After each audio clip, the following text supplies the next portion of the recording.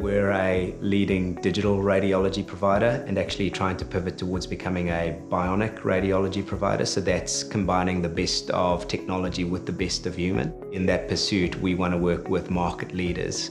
We utilize artificial intelligence, and it's the Volpara solution we're utilizing to augment and aid clinical workflow and clinical decision making.